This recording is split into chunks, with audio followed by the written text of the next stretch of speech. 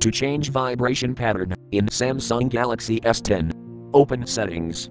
From a home screen, swipe up or down from the center of the display to access the apps screen. Tap Settings.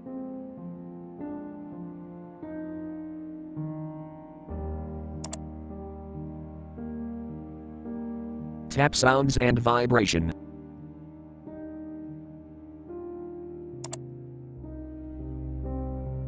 Tap Vibration Pattern.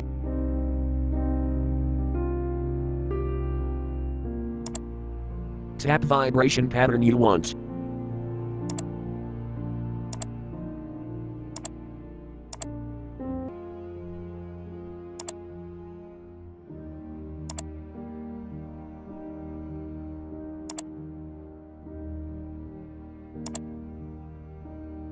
Thank you for watching, have a nice day.